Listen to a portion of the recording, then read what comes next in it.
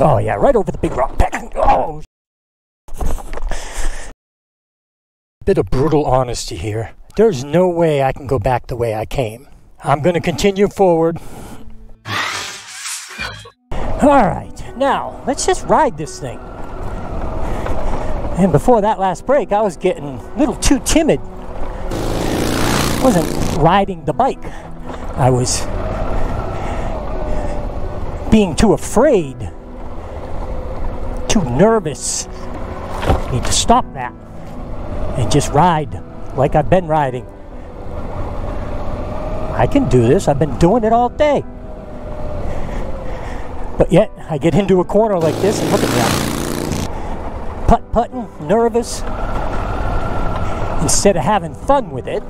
And again, I think that's a process of being tired as well as a little nervous because I'm afraid of going around a corner and finding something that is going to be more challenging than what I'm up for. Now, do I feel really good about what I've done so far? Heck yeah.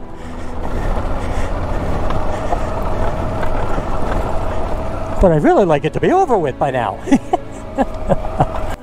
All right, guys, Future Patrick here. I'm having a hard time editing this video because I've done much more difficult riding than what you're seeing here. But yet, I did some struggling. Oh boy. See, I looked at that and I thought, oh crap, instead of just doing it like I've been doing it, I gotta get my, uh, my energy back. God, those corners are slick. Oh yeah, right over the big rock. Oh. All right. I gotta pick that up quick. I just bashed my engine. I do not have a uh, skid plate. That might not be good. And here, the, the riding was not that difficult. But me being as tired as I was, I just chose a bad line and didn't do well with it at all. Another unintentional break. Yeah. Don't go over rocks like that, Patrick. Bad line. Took a bad line. I sped up this section because I was just, you know, checking over the bike after hitting that big rock. I was a little worried about it. Turns out there wasn't any damage that I could find. Little black thing on the ground there at the back tire, I have no idea what that was. But I did bend the clutch lever right here and didn't realize it until much later. All right.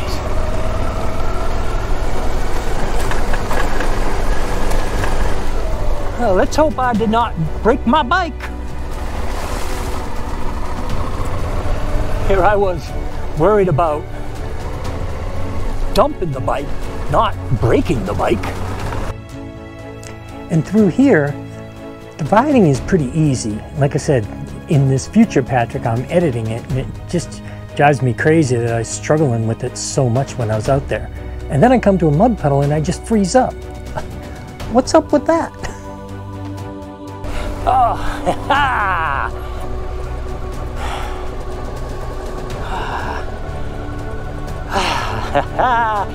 I don't have much choice but to just go through here and cross my fingers because there's no way around it. Try to get up over this side first. And just go. Whoa, that was deep. All right, and through this section, I'm just showing the road because originally I wanted to show a lot of the road to show how difficult it was, but in the editing process, it just doesn't look that difficult. But I wanted to leave it in anyway. That was too. in this part, I'm just showing the road as I approach a mud puddle that I end up coming to a complete stop for.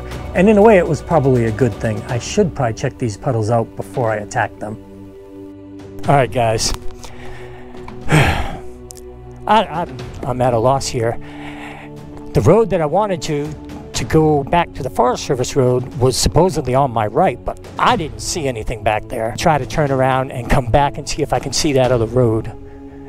And if I can't, then I think I'm going to go back the way I came. Whoa! Ho, ho. Dang, that was deep again. You talk about slick. Holy cow. I'm going sideways, people.